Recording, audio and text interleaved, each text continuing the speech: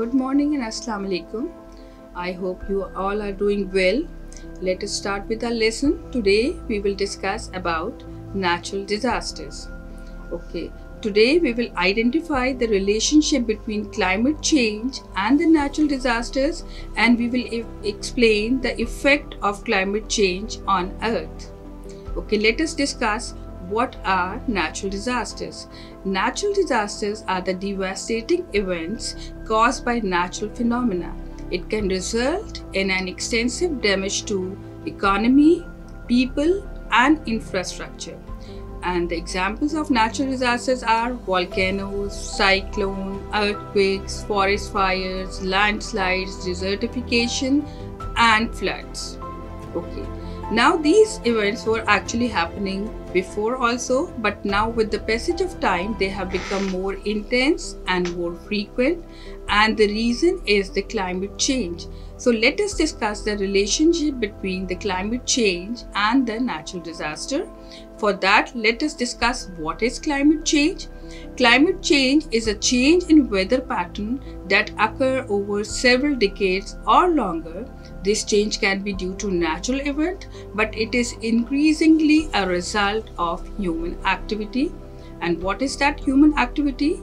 Humans are releasing high amount of greenhouse gases into the atmosphere from factories, cars, coal-fired um, power stations and other industrial activities, which is causing global warming. And the greenhouse gases you already know are carbon dioxide, methane, nitrous oxide. Now these uh, this climate change is creating problem and the problem due to the climate changes are warming of oceans which can lead to intense and frequent flooding, uh, melting of glaciers which can cause flooding of the coastal areas, extreme weather conditions which are very hot summers and very cold winters and forest fires. So let us discuss them in detail. First of all, let us discuss the warming of oceans.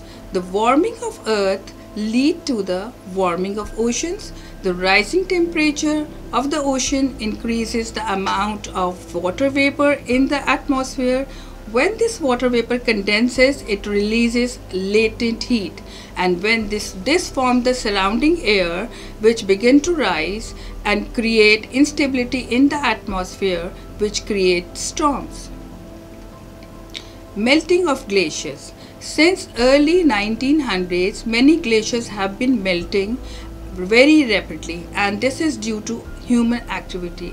How it is, uh, it, uh, they are melting. The global warming results in the warming of oceans, which leads to the melting of glaciers. The melting ice flows into the oceans and raises the sea level, which increases the coastal erosion and flooding become more frequent.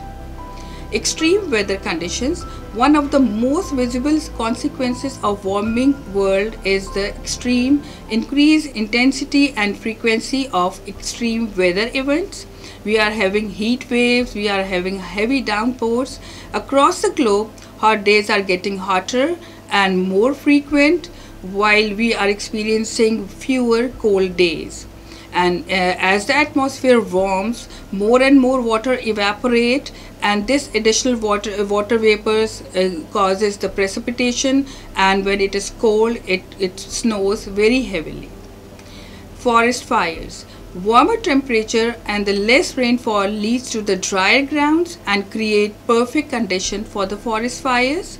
Climate change causes the organic matter that burns and, and spread wildfires to be drier and has doubled the number of large fires between 1984 to 2015.